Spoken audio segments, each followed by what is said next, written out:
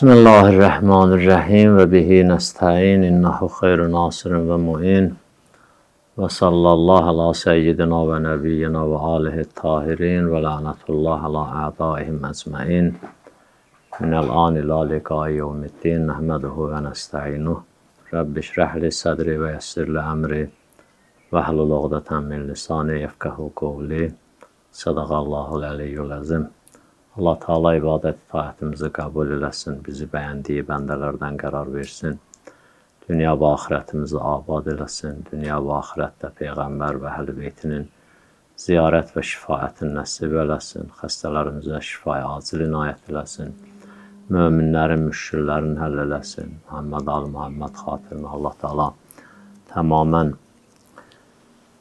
dünyamızı dəyişənlərə qəriq rəhmət eləsin. Allah Ağa İmam zamanı zuhurun təzir eləsin bizi. Onu tanıyanlardan, ona kömək olanlardan, inşallah və onun qarşısında şəhid olanlardan qərar versin. Söhbətimiz bu dəfə inşallah Əleyhisselamın Nəhcül Bəlağədə 81-ci xütbəsidir. Qısa bir xütbədir. Həzrət bir neçə kəlamın cümlənin arasında, içərisində e, zöhdü zahidliyi bəyan eləyir, ona izah verir bir neçə ilməklə ki, zahidlik nə deməkdir? Zahidlik bir dənə geniş mövzudur İslamda, çox təkid olunub. Təqva ondan yaranır, ondan e, insan müxtəlif mərhələlərə onun vasitəsilə keçir. Amma çox əfsus ki, onun biraz izahında, təfsirində e, müxtəlif formada təfsirlər eləyiblər, əhl-i beyt qapısına getməyiblər və nəticədə də o əməlin və o deyək ki, mələkənin barəsində ciddi səhv təfsirlərə əmələ gəlib. Həzrət zöhdün tərifində birincisində deyir ki, qisərul əməl. Zahidlik, yəni arzuların azlığı. Keçən dəfələrdə də, o bir xütbələrdə də, ümumiyyətlə bütün danışıqların hamısında arzu barəsində, arzunun çoxluğu barəsində, arzunun insana gətirdiyi ziyan barəsində danışılıb və həmişə də bütün danışanlar hamısı danışır buna. İşarə eləyir. Burada da Əli əleyhissalam zahidliyi e, izah eləyəndə, təfsir eləyəndə ona deyir ki, zahid, yəni siz başqa cürə təsəvvür eləməyin, başqa cürə yozmayın. E, zahidlik yəni arzuların azlığı, arzuların azlığı. E, məsələn, köhnə paltar geymək, ondan sonra nə bilim, sadə paltar geymək. Məsələn, ictimai işlərə qarışmamaq, çəkilmirsən bir kuşənişin olmaq, ondan sonra nə bilim namazda gedib axırıncı cərgədə dayanmaq.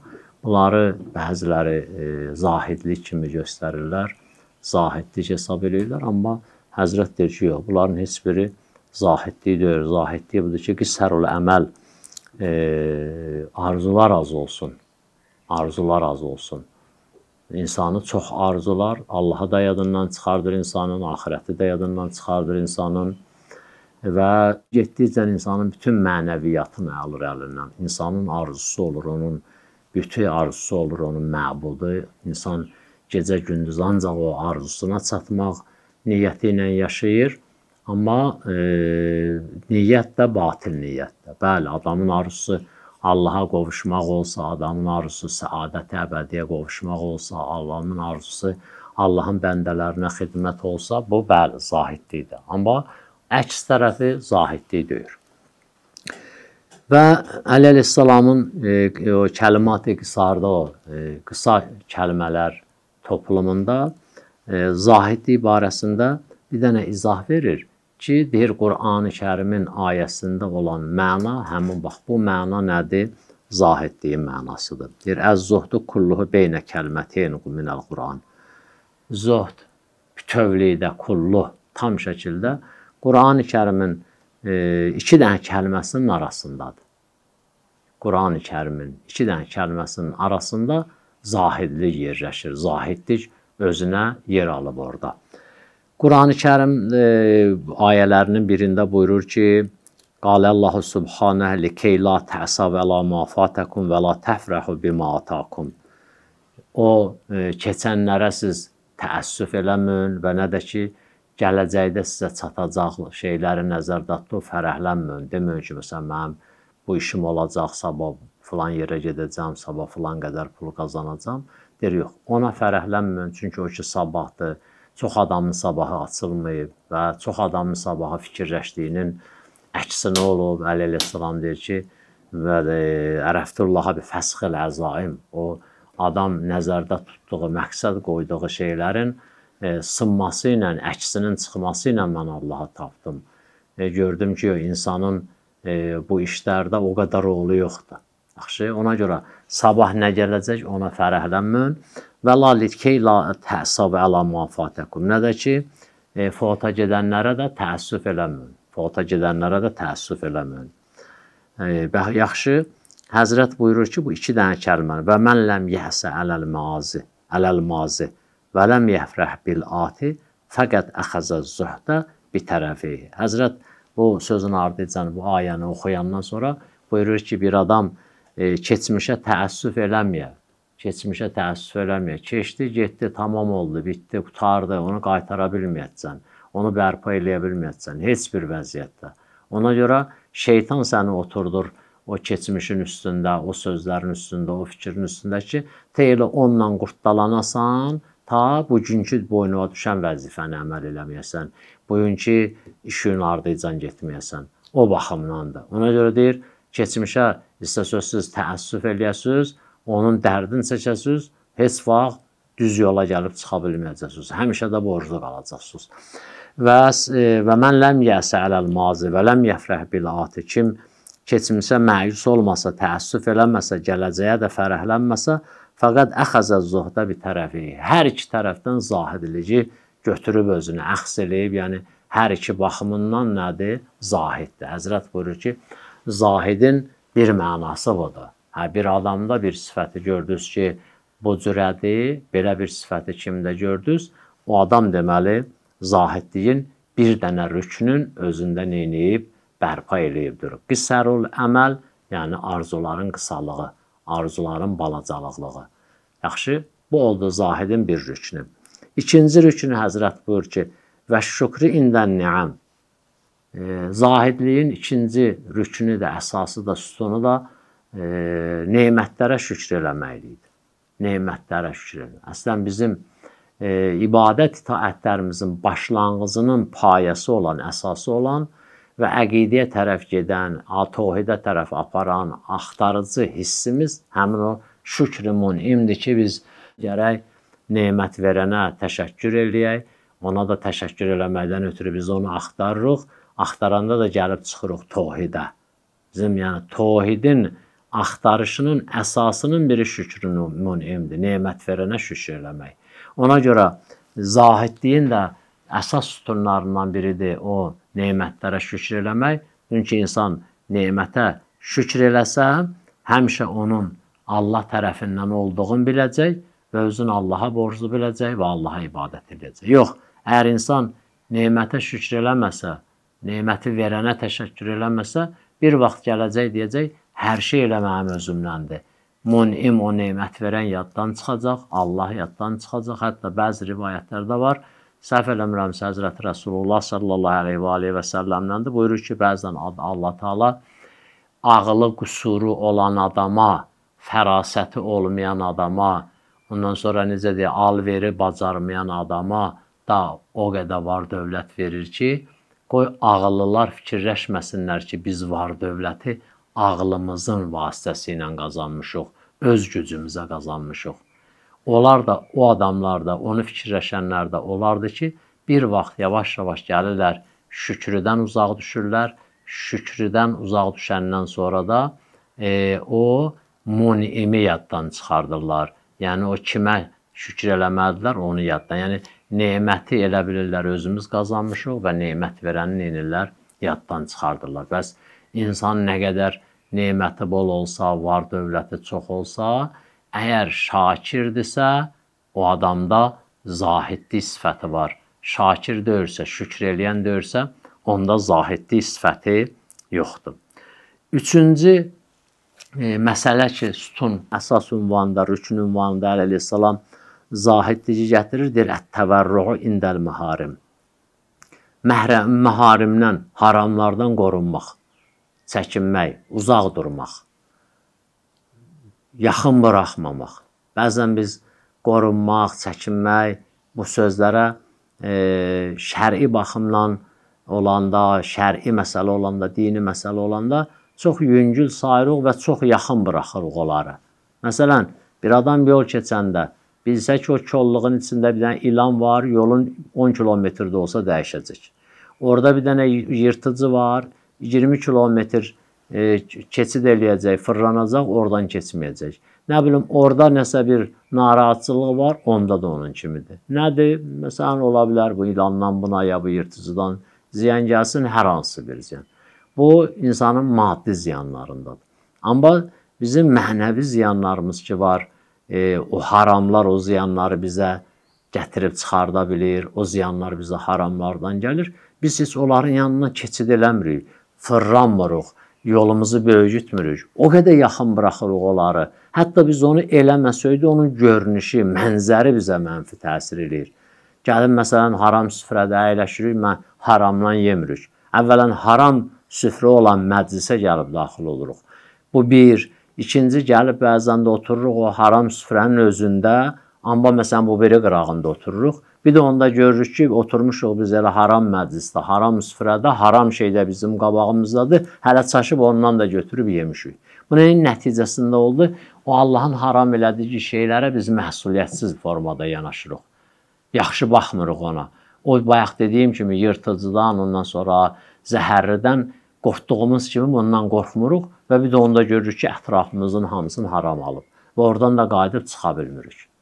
Ona görə də Həzrət buyurur ki, zahidliyin ki, ardıcan məsələn təqva gətirər insana, yəqin mərhələsi gətirər, insanı aparar, çıxardar fənafillaha, onun sütunlarından da biridir ki, insan ciddi şəkildə haramlardan uzaq olsun. Haramın adı gələn yerdən uzaq olsun, haramın söhbəti olan yerdən uzaq olsun, haramın alış-verişindən uzaq olsun, haramın istifadəsindən uzaq olsun. Ümumiyyətlə onu heç zehnində də canlandırmasın. Ha bu adamdır təqva, zahid zöhd əhli. Zahid buna deyərlər. Yoxsa bayaq dediyimiz kimi ay sən geyimlə ya məsələn bəzi bəzi şeylərlə, məsələn nədir? Bir adamın süfrəsində halal yemək var götürüb məsələn halal yeməkdən yemir, hə götürür bir tikə quru çörək yeyir və Allah deyir ki, və la tuhərramut tayyibat ma halallahu lakum və la ta'tadu innallaha la yuhibbul mu'tadin. Allah sizə halal elədiklərini özünüzə haram eləməyin və həddinizi aşmayın. Allah Taala həddini aşanları sevmir. Yaxşı? Hə biz deyəndə ki, e, Həzrəti Əli də quru çörək yərdi, Həzrəti Peyğəmbər də belə elərdi. Onların hesab kitabı ayrıdır, onların mövzusu da ayrıdır, söhbəti də ayrıdır, izahı da var, yerində də danışılıb. Bu ayrı bir məsələdir. Yaxşı? Odur ki, onlarla deyir, gərək neyəsən? Haramlardan uzaqlaşasan. Hubbu dünya rəhsə kulli xətiyə. Məsələn, e, dünyaya məhəbbət. Dünyaya məhəbbət. Dünyaya məhəbbət cüz'ilərdən başlayır, gəlir kullə keçir. Adam o bayaq əvvəl dedi ki, uzun arzu bir dənə şeyi arzulamaq istəyir, arzulayır, ona çatır, o birisini arzulayır, ona çatır. Bu cüz'lər balaca balaca balaca balaca yığılır, olur böyük bir dənə dünya. Bu adam dünyanın milyardda birinə məhəbbəti var idi. Bir də onda gəlir otur görür ki, oturub dünya məhəbbətinin başında padşahlıq eləyir dünya məhəbbətinə. Ona görə də Həzrəti Rəsulullah buyurur ki, bu dünya rəsu kullu xətiyə. Dünyanı sevmək bütün xətaların, bütün günahların nədir? Hamısının rəsidir, sədridir, başıdır, açarıdır. Məsələn, bəzi rivayətlərdə miftahu kullu xətiyə. Bütün xətaların, bütün günahların nə idi? Açarıdır. Hə burada görsən belə e, arzuların uzunluğundan əmələ gəlir. E, nemət verənə şükr eləməməklikdən əmələ gəlir. Haramlardan çəkinməmək, qorunmamaqdan nədə əmələ gəlir? Biz bayaq da dedim, çox sadə yanaşırıq ona. Məsələn, e, biz gedib görsək ki, məsələn, stolun üstündə məsələn bir dənə iyilənmiş yemək qoyulub, ona yaxınlaşmarıq. Hələ inciyərik də çıxıb gedərik. Gedib məsələn görsək ki, süfrənin üstünə məsələn bir dənə necə deyim, qorxunc bir şey qoyublar, yenə də onun kimi. Amma e, bizdə zahirən gözəl görkən, Amma batinən çox iyrənc, çox üfunətli və Allahın qadağı elədiyi şeyləri görürük istifrədə, elə gəlib bir tərəfində otururuq, deyirik o nədir, bizə aid deyil. Gərək onlardan neyniyək çox çəkinək. Həzrət bu 3 dənə sütunu deyəndən sonra ardıcan buyurur ki, fəin əzəbə zalikənkum. İndi nə edə bilmədiniz? Bunların hamısını əmələ gətirənmədiniz. Arzularınızı tam cilovlaya bilmədiniz. Ondan sonra e, şükrin munimi tam yerinə yetirə bilmədiniz. Heç olmasa fəla yəğlibil haramu səbrəkum. Haram gəlib sizin səbrinizə qalib olmasın. Haram sizin səbrinizi məğlub eləməsin. Məsələn, e, neynəyim, necə eləyim, haram yeməsən alınmır, haram satmasan alınmır, haramla qarışmasan alınmır. Bu bir məqamdır ki, insan bunlara sadə baxa-baxa gəlib elə başa düşüb və bunu bu cürə qəbul eləyib, elə bilir ki, nədir? Bu doğrudan da belədir. Amma Qurani Kərimdə neçə yerdə var deyir ki, siz Allaha iftira atırsınız və bu özü də Allaha bir növ iftira və böhtan atmaqdandır. Adam desə ki, məsələn, yalan danışmasan alver eləmək olmur. Gərək yalan danışasan, bu Allaha böhtan atmaqdır. Allahın ayəsini təkzib eləməkdir. Çünki Allah deyir ki, mən heç kimin ruzusunu haramda qoymamışam, heç kimin ruzusunu alverin yalanda təmin eləməmişəm, heç kimə də halal yeməyi, haram yeməyi nə eləməmişəm, məcbur eləməmişəm, nə də ki, heç məsləhət də görməmişəm. Elə bir şərait yaratmamışam. İndi bu gəlib deyəndə ki, yalan danışması onu alver eləmək olmur. Bunun mənasıdır ki, yəni Allahın əlauzbillah sözü yalandır. Yaxşı. Pəs e, Həzrət dedi, indi şükrü tam yerinə yetirə bilmədiniz. E, arzularınızı azalda bilmədiniz. Heç olmasa haram gəlib sizin nədir? Səbrinizi məğlub eləməsin. Deməsin dayı məsələn mən e, məsələn 1 ildir məsələn halal ət tapıb yeyə bilmirəm. Məcburam bu dəfə dayı bir dəfə də olsa halal e, haram ət yeyəcəm. Ya haram alver eləyəcəm. Bu olmasın. Və la tənsaf indən ni'ami şükrəkum. Nemətlər baş verdikcə şükrü unutmaz. Fəqət əzərallahu ileykum bi hüccətin musfirətin zahirətin və kutubin barizətil uzri vazihətin Allah Taala bunun hamısını sizə e, üzürlü eləyib. Yəni Allah Taala bir iş görüb sizin heç birinizin burada üzrü yoxdur. Bunu Allah elçiləri ilə, höccətləri ilə sizə aydınlaşdırıb hamısın və Allah Taala asimanı aşkar olan, bariz olan və çox da aydın olan kitabı ilə nə edib? Bunu sizə bəyan edib halalında, haramında. Hətta halalın da nəticəsini bəyan edib sizə, haramın da nəticəsini bəyan edib. Halalın da e, gedib düşəcək yerini sizə göstərib, haramın da gedib düşəcək yerini sizə göstərib. Allah halalın müqabilində sizə gözəl vədələr verib ki, fitrətünüzlə uyğun gəlir. Gözəl, behişt, çaylar, arxlar, ağaclar, meyvələr, filan filan bax o insanın fitrəti ilə heç kim tikanlıqda gedib yaşamaq istəməz. Heç kim gedib məsələn durun gedək məsələn daşlığa, səhralığa, qumluğa orada bir istirahət edin, heç kim bunu arzu eləmir. Hamı istəyir çəmənliyə getsin, yaşıllığa getsin, su olan yerə getsin. Allah da deyir ki, halaldan istifadə edənlər üçün elə bir yeri hazırlamışam, öz dəhbədir. La şəmsə fiha və la zəmhərira. Nə e, istidən əziyyət çəkməyəcəksiniz, nə soyuqdan. Haramından istifadə edənlərin də Allah Taala vədəsini də verib, əzabını da göstərib, şiddətini də bildirib ki, insanın da onların hamısından acığı gəlir. İnsan desən, gedək səni aparım döyməyə, acığı gələcək, getməyəcək. Dedin, gedək sənə bir sərin su verim, gedəcək. Allah deyir, bu haramdır. Yesən də bax belə bir yerdə. Haramı da deyir, aqibətini də deyir. O aqibəti də, fitrəti də elə yaradıb ki, haramın aqibəti ilə sənin fitrətin uyğun gəlmir, istəmir fitrətin onu. Deməli sən əvvəl öz fitrəti korlamısan, sonra haramı yemisən, ondan da sonra o axirətdə səni gözləyən pis və fitrəti ilə uyğun olmayan şeylərdə də sənin acığa gəlmir. Heç yada da düşmür o pis şeydir. Əslində pisliyini heç fikirləşmirsən də. Yaxşı? Əz-zahadatu fid-dunya leysət bi təhrimil halam. Həzrət Rəsulullah buyurur ki, yenə zahidliyin təfsirinə qayıdırıq. Deyir, zahadət dünyada o deyir ki, halalları özünə haram eləyəsən və la izaətil mal, malı zay eləyəsən. Məsələn də imtina eləyəsən, tullayasan, bunu mən istəmirəm. Məsələn, təzə paltarın var, tullayasan, yox, mən bunu geymirəm. Yox, bu deyir. Və lakinnə zəhadətü fid dünya ən la təkunə bima fi yədəykə avsəqu minkə bima fi yədəllah. Zəhadət budur ki, dünyada sənin əlində olan Allahın əlində olandan daha möhkəm fikirləşməyəsən. Öz əlində olanı Allahın yanında olandan üstün bilməyəsən. Öz əlində olan köpük kimidir Quran-ı Kərim deyir.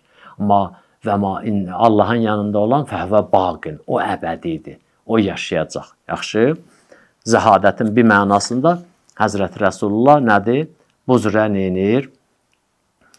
E, izah eləyir. Və Həzrət də e, Həzrət Rəsulullah xutbələrinin birində deyir ki, İnnallaha təbarəkə və təala ləm yaktub ələynə ər-ruhbaniyyətə. Allah Taala bizə rahiblik o dağlarda çəkilib zahidlik eləməyi bizə yazmayıb. İnnama ruhbaniyyət ümməti əl-cihad fi səbilillah. Mənim ümmətimin rahibliyi, zahidliyi nədir? E, Allah yolunda cihaddır. Cihad da iki cürədir. Nəfslə cihad eləmək böyük cihad, bir də hərbi cihad. O da kiçik cihaddır. Bir başqa hədisdə də Həzrət buyurur, deyir, buyurur ki, deyir, ruhbaniyyət ümməti fil məsacid. Mənim ümmətimin rahibliyi nədir? Məscidlərdədir. Bir dənə də Həzrət Əli əleyhissalama Həzrət Peyğəmbərin bir e, rivayəti var, sözü var. Onu da oxuyum, tamam eləyim. Buyurur ki, ya Əli innəllaha təala zəyyənəkə bi zinətin ləm yüzəyyinil ibadə bi zinətin hiyə əhəbbu ileyhi minha. Yəni Allah səni bir dənə bəzəklə bəzəyib ki, heç bir bəndəsini ondan aşağı bəzəklə bəzəmək fikri olmayıb Allah Taala. Yəni Allah ən çox sevdiyi bəzəklə səni bəzəyib. Nədir o? Deyir hiyə zəhhədəkə fiha və bəğəzəha ileykə. Allah sənə e, edib? Zahid eləyib dünyada. Yəni dünyanı sənin gözündən salıb. Yaxşı? Və bəğəzəha ileykə. Dünyanı sənə e, belə dünya səndə dünyaya qarşı nifrət yaradıb. Və həbbəbə ileyhəl füqara Allah sənə füqəranı sevdirib. Sən fəqirləri sevənsən. Və rəzitə bihim ətbaən. Allah da fəqirlərin sənin dalıcan gəlməyi və razı olub və rəzu bikə imamən Allah Taala nədir? Sənin də onlara imam olmağına razı olub. Sən ki fəqirləri sevmisən, ona görə də fəqirlər sənin dostların olmağına Allah razı olub və sənin də nədir? Onlara imam olmağı Allah razı olub. Və Əli əleyhissalamın nəzərində dünya bir dənə hadisə gəlir bir nəfər Həzrət Əli əleyhissalamın bir dənə ərəb səhrada yaşayan Əli əleyhissalamdan bir şey təqazı eləyir. E, həzrət də orada vəkilinə deyir ki, Həzrət deyir ki, min ver ona. Elə müəyyən eləmir minnə. Deyir min ver ona. Bu vəkil deyir ki, yəni qızıldan verim, gümüşdən, dirhəmdən verim, yoxsa dinardan verim, qızıl verim, gümüş, gümüş verim. Həzrət qəşəng bir dənə söz deyir. Dünyada belə tablo olmalıdır bir söz, bu söz. Həzrət onun cavabında buyurur ki, kilahuma indi həcəran. Onların ikisi də mənim yanımda daşdır. Biz deyirik də bu qızıldır, bu gümüşdür. Bu dirhəm, dirhəm gümüş puldur, dinar qızıl puldur. Deyir min ver ona. Həzrət də o Həzrətə deyir ki, min nə verim? Qızıl verim ya gümüş? Həzrət buyurur ki, kilahuma indi həcəran. Onların ikisi də mənim yanımda daşdır. Qızıl da olsa, gümüş də olsa daşdır. Yerdən çıxan daşdır. Fətil ərabiyyə ənfəəhuma ləhu. Gör o ərəbə hansı xeyirlidir onu ver. Qızıl istəyir, qızıl ver. Gümüş istəyir, gümüş ver. Amma mənim yanımda onlar hər ikisi nədir? E, daşdılar, elə bir dəyəri yoxdur. Allah Muhammed al Muhammed xatirinə bizi zahid insanlardan qərar versin. Ağa İmam zamanı zuhurun təcil eləsin, bizi də onun dostlarından, tanıyanlarından qərar versin və əssalamu aleykum və rəhmətullah və bərəkatuhu.